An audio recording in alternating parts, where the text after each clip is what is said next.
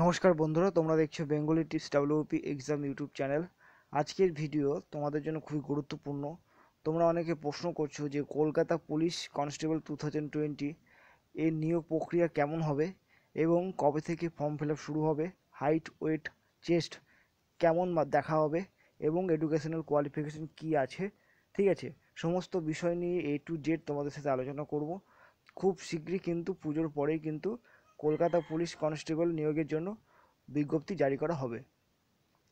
তোমরা জানো যে কলকাতা পুলিশের সার্জেন্ট এবং এসআই পদে নিয়োগের জন্য যে বিজ্ঞপ্তি বেরিয়েছিল, সেটা হচ্ছে ডাব্লিউপি বোর্ডের, যেমন পিআরবি বোর্ডের যে নিয়ম সেই নিয়ম অনুযায়ী এবং পিআরবি বোর্ডকে কিন্তু দায়িত্ব দেওয়া হয়েছে। যার ফলে পিআরবি বোর্ডের নিয়ম নতুন যেটা করা হয়েছে, প্রথমে প্রিলিমিনারি পরীক্ষা, তারপরে পিএমটিএন পেট, তারপর তোমার মেন এক্সাম তারপর ইন্টারভিউ এরপর মেডিকেল এইভাবে কিন্তু নিয়োগ প্রক্রিয়া শুরু হয়। তো কলকাতা পুলিশের নিয়োগ প্রক্রিয়াও কিন্তু ঠিক এইভাবেই করা হবে। তাই সেই প্রসেস ফলো করে কিন্তু তোমাদের প্রিপারেশনটা শুরু করতে হবে। এবার তোমাদেরকে আমি দেখিয়ে দেবো যে হাইট ওয়েট চেস্ট কত কত লাগে, ঠিক আছে? এই যে দেখতে পাচ্ছ, এখানে ডাব্লিউপি কনস্টেবল টু থাউজেন্ড টোয়েন্টির যে বিজ্ঞপ্তি, সেই বিজ্ঞপ্তি তোমাদেরকে দেখাচ্ছি। যেহেতু কলকাতা পুলিশের কনস্টেবল নেওয়া হবে, কিন্তু তাই এই বিজ্ঞপ্তি ফলো করা হবে, এই রুলস ফলো করে কিন্তু হাইট চাওয়া হবে। ছেলেদের হাইট একশো সাতষট্টি সেমি এবং ওয়েট হচ্ছে মিনিমাম সাতান্ন কেজি এবং আটাত্তর সেমি হচ্ছে চেস্ট এবং পাঁচ সেমি চেস্ট ফোলাতে হবে।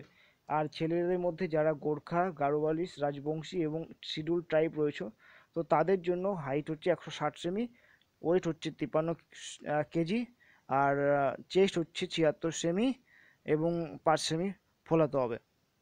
ঠিক আছে? এইবার হচ্ছে লেডি কনস্টেবল, এবার কলকাতা পুলিশের লেডি কনস্টেবল থাকবে। তো সেখানে জেনারেলদের জন্য ওবিসি এ বি এসসি তাদের জন্য কিন্তু হাইট হচ্ছে একশো ষাট এবং ওয়েট হচ্ছে ফর্টি নাইন কেজি। আর গোর্খা গাড়োয়ালিস রাজবংশী এবং শিরুল ট্রাইব তাদের জন্য হাইট হচ্ছে একশো বাহান্ন ওয়েট হচ্ছে ফর্টি ফাইভ কেজি এবং এদের চেস্ট নট অ্যাপ্লিকেবল তো এই ছিল তোমাদের হাইট ওয়েট চেস্ট কত কি থাকবে। এবার তোমাদের এডুকেশনের কোয়ালিফিকেশান বন্ধুরা মাধ্যমিকে রাখা হয়, সেটাই থাকবে।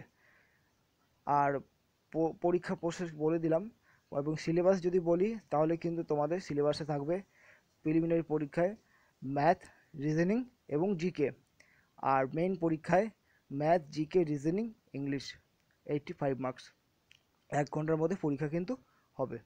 তো ফুল ইনফরমেশন তোমাদেরকে দিয়ে দিলাম। দরকারি যেসব ইনফরমেশন কলকাতা পুলিশ রিলেটেড বিজ্ঞপ্তি খুব তাড়াতাড়ি এবং তোমরা তোমাদের প্রিপারেশন শুরু করো। যদি ভিডিওটি ইনফরমেটিভ বা ভালো লাগে, তাহলে কিন্তু একটা লাইক করে দিও। তোমরা সাবস্ক্রাইব করছ না চ্যানেলটা সাবস্ক্রাইব করো চ্যানেলে গ্রো হবে এবং তোমাদের জন্য আরও ভালো ভালো ভিডিও দিতে পারব। চ্যানেলটি শেয়ার করে দিতে পারো তোমার বেস্ট ফ্রেন্ডের কাছে, তবে কিন্তু চ্যানেলটি আরও মানুষের কাছে পৌঁছাবে।